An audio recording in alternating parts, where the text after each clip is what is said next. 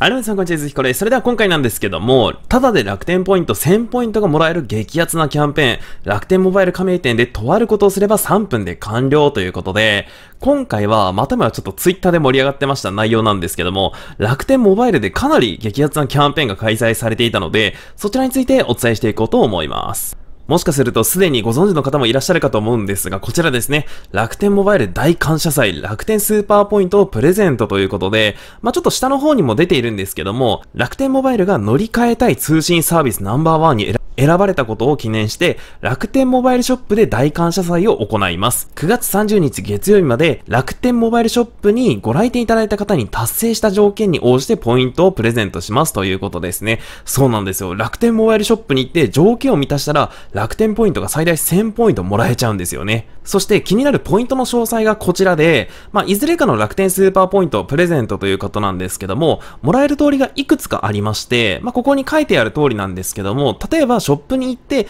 アンケートを回答したら100ポイント。次に割れたスマートフォンを持ってアンケートを回答、プラス見積もり作成で1000ポイント。で、そして3つ目は他社での見積もりをショップに持っていく、プラスアンケート回答、プラス見積もり作成で1000ポイント。そして4つ目は家族や友達を連れてショップに行く、プラスアンケート回答、プラス見積もり作成で1000ポイント。主にこちらの4通りですね。僕はちなみに書いてある通り、4番目の友達を連れて楽天モバイルのショップに行ってきました。しかもですね、僕の時はアンケートとか特になくて、ちょっとしたプランを聞いて、パパッと見積もりを出してもらっただけなので、ものの3分くらいで終わりましたね。まあちなみにその店舗では、このキャンペーンに来た人は初めてらしくて、一瞬店員さんもてんやわんやしてましたが、その後はすんなりと行けましたね。ちなみに出してもらった見積書はこちらですね。僕自身もソフトバンクから乗り換えしようかなというふうに迷っていたので、まあ楽天モバイルの話も聞けてかなりいいタイミングでしたね。で、このキャンペーンのルールですが、ざっとこんな感じです。まあ、楽天モバイルショップに行って、条件を満たしたら最大1000ポイントがもらえると。そして、1人1回までポイント付与ですね。で、期間はすでに始まってまして、8月の8日から9月の30日まで。そして、